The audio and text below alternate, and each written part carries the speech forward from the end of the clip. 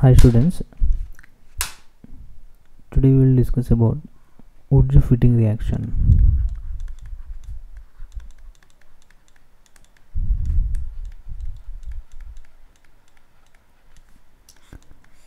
Okay, here in this, in Wurtz reaction we have taken alkyl halides, in Fittig reaction we have taken aryl halides. So, so here one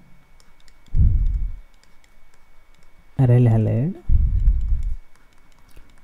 next alkyl halide we will take so for example here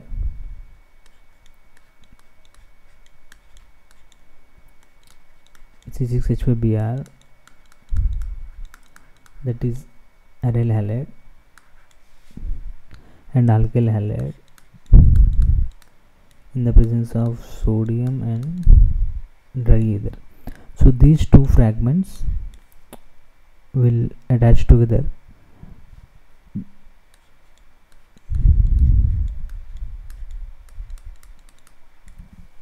so this is the aryl group and this is the alkyl group. So both will attach together. That's by forming the product. Toluene it, here it is forming toluene. So this is about the Wurtz Fittig reaction. Hope you understood. Thanks for watching